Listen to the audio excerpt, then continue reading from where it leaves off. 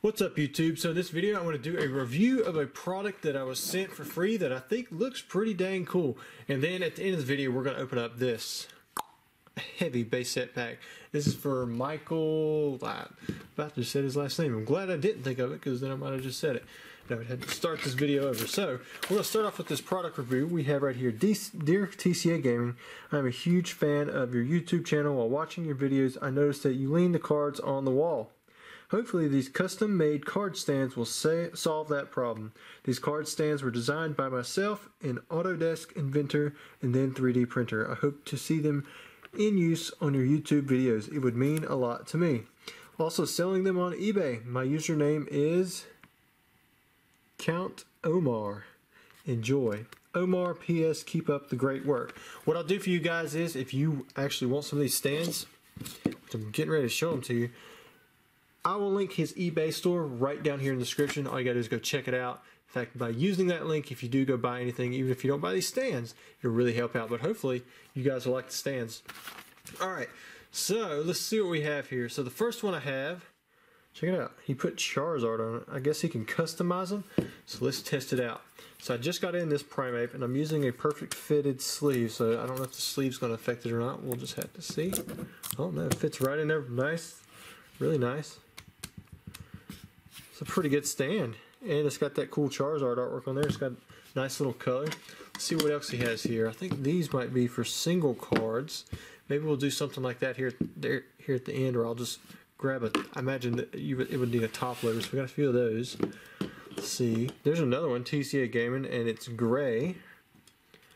Ooh, I kind of like the black one. Oh, that one says Team Rocket. Check that out. So I guess he can customize it to a set. So we're going to imagine this is a Dark Charizard, not Light Alakazam. Wow, it looks really cool. Check that out.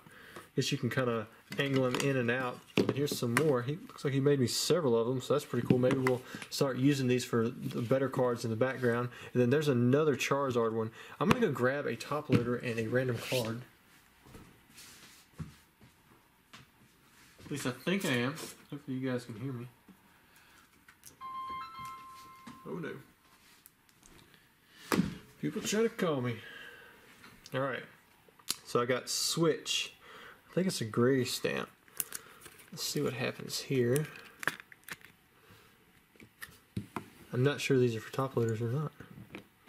Oh, they are. Check that out. So we got a top loader stand. So I guess if you like top loaded, uh, top loaded cards instead of PSA, you could just use you know these stands for that. So if you're interested in any of these, like I said, I will link his eBay store right there down in the description and you guys can go check him out. Thank you very much. Did he say? Did he say he have a name for this stuff? Just says his username is Count Omar. Get you a name on the business. That'd be sweet. All right, here we go. So here's the heavy pack for Michael, spelled with a K. Well, I guess. Oh no, no, it's not. Most Michaels I think are M I C H. This is. I believe I saw M I K for his. The K is in Mike. One, two, three, and four.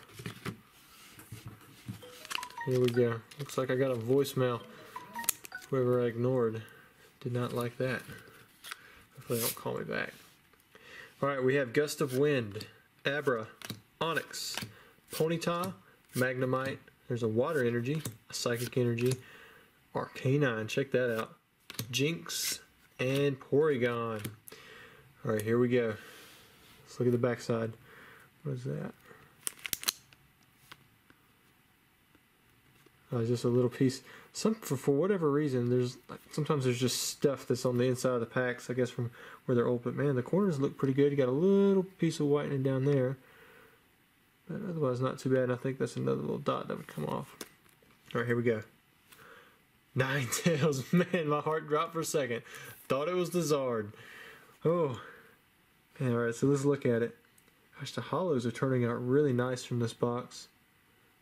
Are you guys seeing anything? Man, I'm looking pretty hard. I'm I don't see any print lines.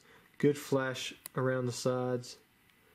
Uh, there's a little bit of silvering right there. You can kind of catch it. But really, that's a that's a very, very strong 9.